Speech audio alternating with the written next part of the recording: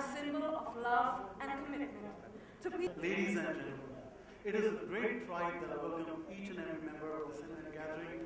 You know, I thank you all for being a part of this special occasion and a unique milestone in the journey of Forevermark India. Diamonds are one of the most enduring symbols of love. Over the years, they've come to represent all that is promised, all that lies in the past, and all, that lays in the future. It is this timelessness that is represented in the market election, and I wish you all a great year. And thank you for being here.